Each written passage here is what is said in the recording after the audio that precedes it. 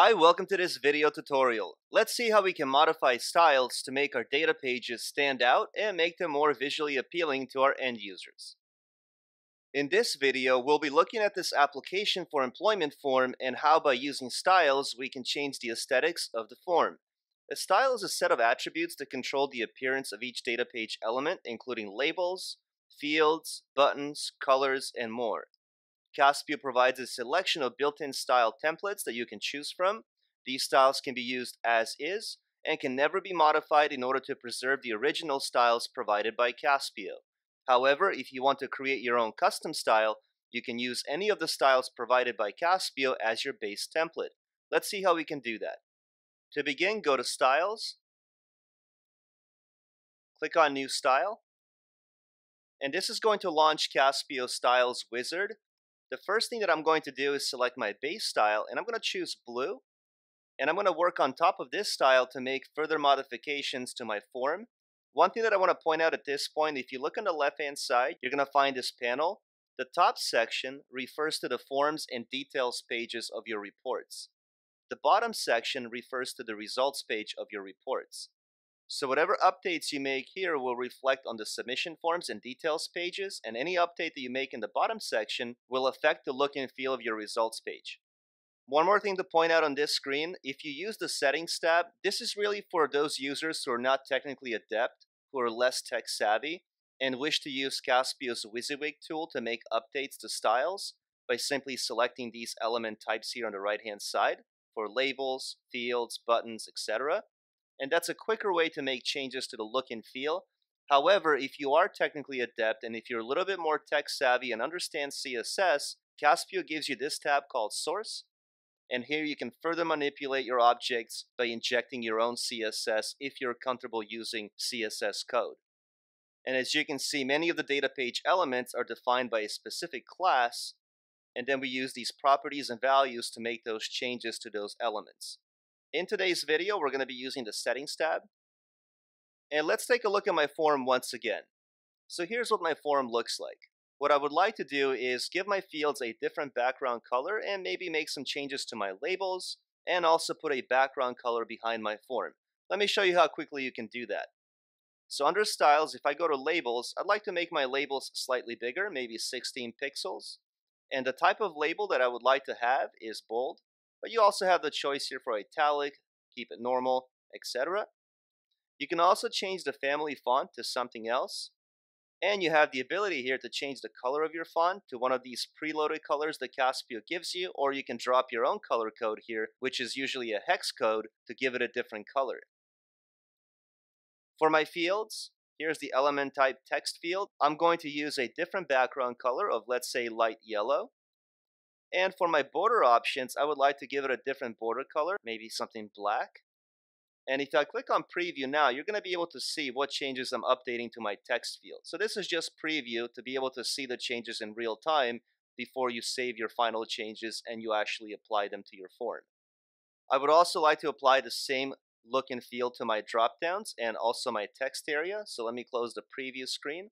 Once again, under fields, you're going to find text area and I'd like to change the background color to once again yellow and have the same border color. I'll hit preview once again just so that you can see how I'm making these changes. And finally for our drop downs, if you scroll down a little bit, you're going to find drop down and list boxes. And once again, I'm going to use a different background color and a different border color. And now when I hit preview one last time, you're going to be able to see how all the fields are uniform. The next thing that I would like to do is change the background color of my form.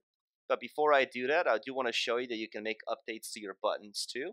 So if you don't want to have a background color of blue on your button, you can use a different color of your choosing. Under layout, let's change the background color of the form. And you do that by going to rows. So under rows, you're going to find background options. At the moment, it's using a white color, but let's use a light gray color like this one here and click preview. And as you can see at the moment, we still have the alternate color white enabled. So let's close the preview.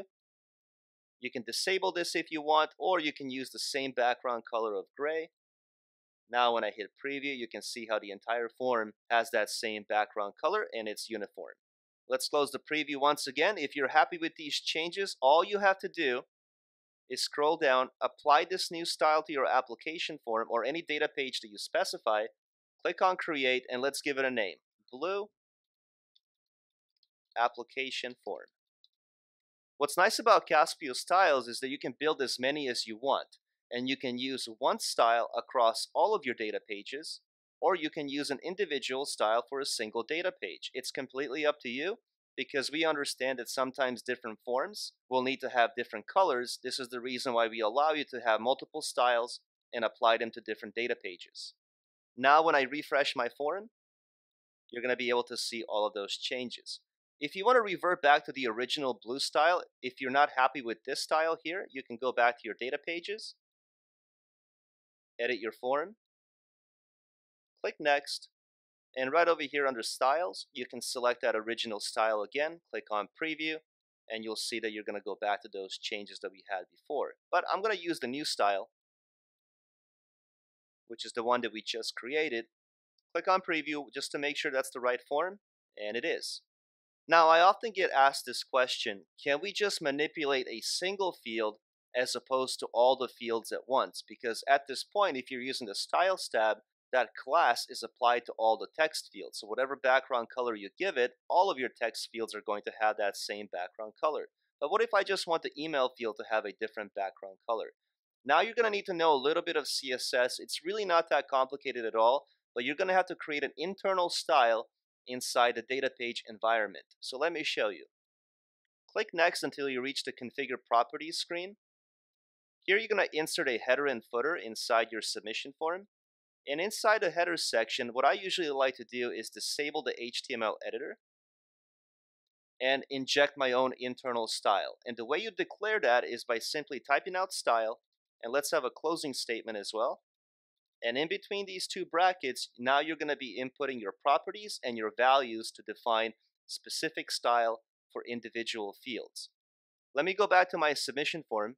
And one thing that you can do if you're using Firefox or if you're using Chrome, if you hit F12 on your keyboard, it's going to bring up the inspect tool. And all you really need to do is click on this button here so that you can inspect any element on your website. In this case, we want the email field and you will see how this field is uniquely identified by this ID. So all you really need to do is copy this text or right click and copy to grab the ID for that field. Go back to Caspio and the way an ID in CSS is identified is by using a hashtag and then you're going to paste that ID and then you're going to need two squiggly brackets, one to open it and one to close it. And now you need to add your property and your value so that you can make those changes to that field. And in CSS, to give a property a different background color, all you need to do is just type out background color, and then you input your own color code that you wish to have. Now there's an easy way to do this. If you Google HTML color codes, there are many of these easy to use color pickers, and all you really need to do is just drag this circle around. If you don't wish to have red, you can go down to let's just say green, and let's have this green color, and then you can see how this number here is generated on the right side. All you have to do is copy it, go back to Caspio, add a hashtag, paste that generated code, and put a semicolon. And now when you click on preview, you will see how that field is going to be green. What if I want to make some changes to my text area? Once again, we're going to hit F12 on the keyboard to inspect that element. So let's click inside it, grab that ID, copy it, go back to Caspio. We're going to add a new hashtag, paste that text, two more squiggly brackets, and now we just need to add our properties and our values. Background color, let's just have a light gray, which is F8, F8. And let's add one more property. How about we give it a round edge around the corners? And the way you define that using CSS is simply by typing out border radius. And let's have something drastic, maybe 15 pixels, and a semicolon. Now when I hit preview, let me close the inspect tool. Now you can see how it has a light gray color and all the borders have a round edge of 15 pixels. The styles section is a big topic, so I definitely recommend that you play around with the styles until you match the look and feel of your own brand or your own website. I hope that you enjoyed this video. Give us a thumbs up if you liked it. Don't forget to subscribe for the latest tips and tricks on how to use Caspio. And if you have any questions or comments, please use the comment section below. For additional videos and articles on how to use Caspio, visit our knowledge base at howto.caspio.com. Thanks for watching and good luck building your applications.